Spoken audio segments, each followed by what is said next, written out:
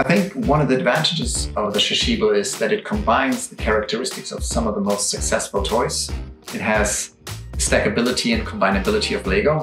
It has the magnetic properties of Magna-Tiles and at the same time the transforming problem solving aspect of a Rubik's Cube. There's more than 70 possible shapes that can be created with one cube, but the true magic starts when you put more than one cube together. You have the possibility to explore volume, possibility to connect.